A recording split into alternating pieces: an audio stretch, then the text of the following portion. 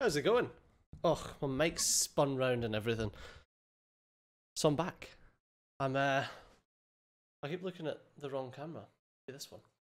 Ah, as you can tell, pretty pretty out of practice in this full YouTube gig. So I'm back. Where did I go? I didn't I didn't technically I didn't actually go anywhere. So uh for those of you who don't know where Steejo has been, why has he stopped uploading videos? I uh I couldn't I received 19 copyright strikes, which have all now been resolved, which is why I can now upload again. But yeah, the uh yeah, 19 copyright strikes. Mark that as a high score. So uh yeah, about god, when was it? About 9 weeks ago. I've got the dates here, I'll get them. So yeah, I got the um I got the strikes. I think it was the the end of April um, and I submitted the counter notification on the 3rd of May.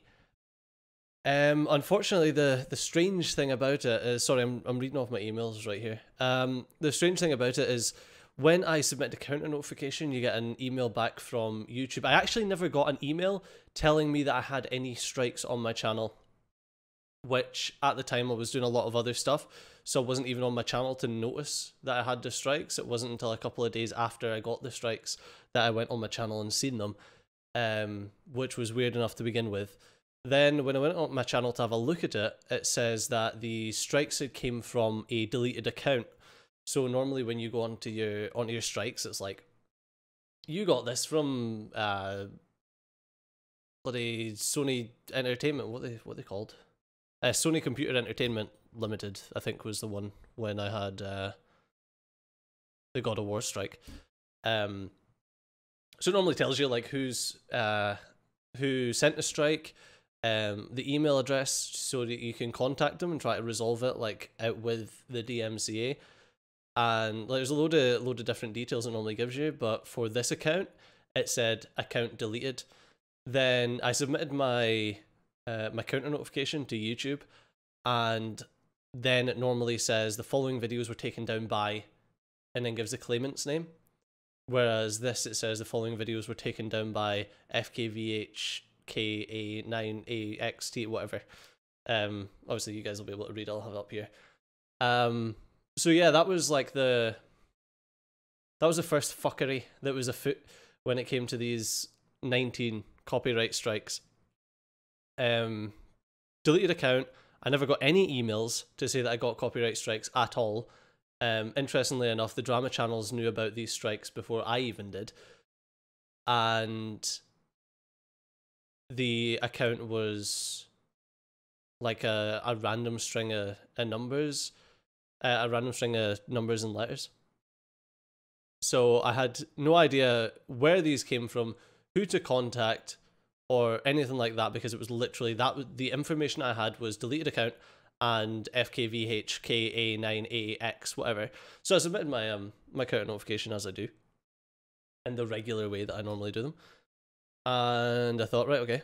Normally it takes YouTube, I'd say sometimes you can get the counter no- notification forwarded on same day. Um sometimes it takes a couple of days. I thought with the sheer number of videos, I think it was like 90 something videos uh, the sheer number of videos that was strike down, then that would have took like a couple of days. So I was like, right, okay, whatever. I'll do a couple of days. Sure thing. Um. Oh, just in case you were wondering why it was like, what what does what was it? Nineteen strikes. Um. Why it was nineteen strikes is because the way that YouTube works when you're submitting massive amounts of strikes is that it gets sorted into blocks of five strikes. So every uh, blocks of five videos. So every strike is five videos. So got hit with these 19 strikes. I was like, right, whatever.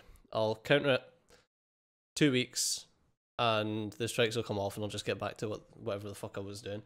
Um, I was definitely not happy at the time. I mean, this is this is like ten weeks ago now or something like that. I've definitely moved on from it. Um, but yeah, I was like, what a load of bullshit. You know, it wasn't. There was no legitimate email attached to it. There was no legitimate name attached to it. There was no uh, nothing at all. Um, except this FKVH KA9A XT whatever. Um, I done a load of like investigation with a load of people from my Discord to see like, is it like a hashed string? Um, was it is it like an encrypted string? Maybe there was something that got passed through wrong. So I don't know if maybe it was a YouTube encrypted string that um instead of sending us the decoded string for who it was because it was a deleted account that it showed on their system it just gave us like the actual string i don't i don't know it's just uh, to me it was strange anyway what furthered the strangeness is that uh these strikes never uh, the, the strikes the counter notification never actually got forwarded to the claimant um but i tried to i tried to obviously email uh, YouTube to try and get it sorted. But during the COVID pandemic, um, YouTube actually had less people working on like the live chat and stuff like that, so it was a lot harder to get in contact with someone. Um, we emailed Susie's partner manager to look into it, but partner managers are like with with things like DMCA's and stuff like that, they they can't really do anything. Um, so basically, I was emailing him so that he could forward it on and like escalate it, but generally what we find is that you're better off just emailing the copyright team direct. You get a lot better uh you get a lot better results with that. But yeah, with like ended up in a back and forth with the copyright team for weeks. You know, and the thing about the copyright team is you email them and then it takes them like four or five days to get back to you. And they get back to you and you email them, then it takes them four or five days to get back to you. So I think it was seven seven or eight weeks before it finally got forwarded on. And I've got no idea who they forwarded it on to because they don't they don't tell you anything apparently. Um so yeah, I forwarded it I forwarded it on or they forwarded it on. And then it was just a matter of waiting the the two weeks or the 14 working days, which was over the 4th of July, which added extra time because it's the 14 working days, uh, 10 to 14 working days American. So, you know, I don't, I've got no idea. Apparently, the 4th of July is like a full weekend thing that they celebrate. So there's like bank holidays and stuff. So that added extra time onto it. Um, so, but even after that, I think it was about 16 to 17 working days after that the strike still hadn't come off, so I had to reach out to YouTube again and be like, listen, I need to get my strikes off, and that took an extra two days. It's like, so all of this fuckery has led to me not being able to upload on my channel for like 10 weeks or something. Like, I, I lost count. Uh, fortunately, I've been doing some other stuff. Um, some stuff that you guys will probably see in the near future, once it's all polished.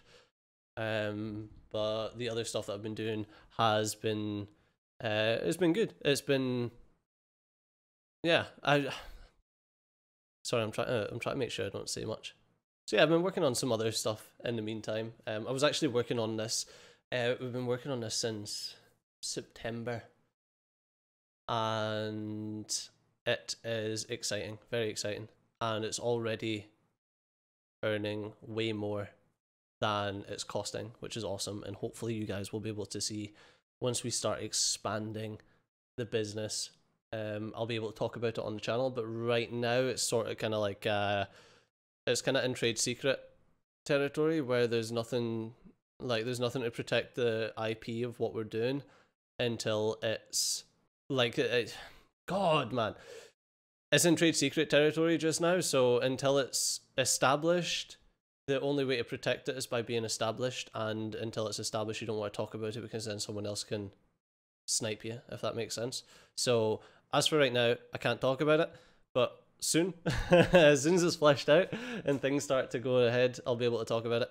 But I'm super happy with where it's going. Um, we've actually got a great team working with us just now. Uh, so I'm super excited, and I can't wait to tell you guys. But the one problem with that is I've got less time for YouTube. Um, so don't expect me to be going back to eight videos a day. Um, the way that I'm trying to work right now is I'm going to be working on my YouTube one day, and then the next day I'm going to be working on my own stuff. I don't know how much of that I'm going to be able to stick to, but hopefully it should end up with you guys not even noticing anything, but it definitely won't be eight videos a day. It definitely won't be anywhere near that. Um, I'm thinking about changing about the way that I do some of the content, so it'll be longer videos. We're going to try for a little bit to see how it works. Um, as for like, you guys don't care about any of the inside baseball crap, man. I don't like. I always, I always go on about this sort of stuff, and I'm like, I wonder if anyone actually cares. Probably not. Uh, so what we're going to do is we're going to. Factorio is definitely coming back. I've been promising it for ages. That's the first thing. That's the first thing that's going to get recorded. Um, Factorio's coming back. I need to finish that bloody SeaBlocks. It's bugging the life out of me. It needs to come back. That's a definite. Um, then we're going to be doing some. God, I forgot the bloody name of it. Satisfactory. Satisfactory is the other thing. Factorio's coming back. Satisfactory's coming. The third thing, I don't know, but there's going to be three things. There's going to be three things. I'm going to try and get an episode of each a day, but we'll see. Because if I'm doing longer videos, I'm not sure if I'll have the time, but I'll try. Um, the reactions will be coming back on the reaction channel. Um, I'm just thinking about the time. I don't think I'll be able to do three episodes a day on the main channel if they're going to be longer episodes, but we'll have to see about that. I don't want to overpromise and underdeliver. I hate doing that, and I know I've been doing that for like the last year while I've been working on other stuff in the background, and it sucks, and I hate it. But we will, we'll try to get back to a sense of normality. Really, uh, reactions still going to the reaction channel. As I said, I wanted to move away from the main channel with the reactions. Um, not because of ninety four videos coming down for copyright strikes from an unknown claimant. Um, but actually because I wanted a more cohesive channel, and I feel like having reactions and indie games, and I'm even thinking about branching the AAA stuff off of this channel. But if I'd done that, this channel probably be maybe like one episode a day, and then and it's hard with indie games, man. I just like playing games, man. There's so many games to play. Um, but yeah, I'm still like everything's still up in the air. So I'm going to try as usual, I, I spread myself too thin and I put so much work on my plate that is just like a ridiculous amount. But yeah, we're going to get back to go get back to some Factorio. I cannot wait. Factorio, I definitely want to do Satisfactory, maybe with some mods or something. Um, because I've seen some mods that look cool. I'm also I have no idea what any of the updates for Factorio or Satisfactory have been in the past maybe like a year or something. I don't know. It feels like it's been so long since I played any of them. So yeah, reactions on the second channel. Factorio over here, Satisfactory, and maybe a third game. Or maybe that third game will be on a different channel. But we'll see about that, won't we? Um, and then, like I say, every other day I'll be working on my other projects behind the scenes so that hopefully we can get that going um, luckily, we've got some good people working with us that I can afford to do one then the other, and we're at the stage right now where I can afford to do that. But I'm also renovating the house, so once again, piling all of this crap on top of already, you know, being super busy. But I'm going to be trying. I'm going to be trying. Just wanted to let you guys know why I've not been uploading to the channel. It is not by choice. It is by um, extremely, extremely fucky DMCA takedown notice, or multiple DMCA takedown notices that, uh, yeah, I wasn't very happy with. And unfortunately, the YouTube copyright team got the ire of that quite, quite extremely. Um, yeah. Hmm the thing is, and here's let's don the lawyer hat just now. The problem with the DMCA, and there's been some there's been some suggestions sent to Congress. I think I'm not very good with the the US political system. There was some suggestions sent in about how to change the DMCA in a way to make it better and the things that are broken with it. The DMCA is an inherently crappy system that was not built for what we're dealing with nowadays. But the problem is that in order to maintain safe harbor, YouTube basically has to take any DMCA takedown notice and treat it seriously. So that leaves it open to an awful lot of abuse. And as you can see, you can get your channel shut down for like 10 weeks by a bad actor, in my opinion. Which uh which sucks. It definitely uh it's definitely a pain in the ass.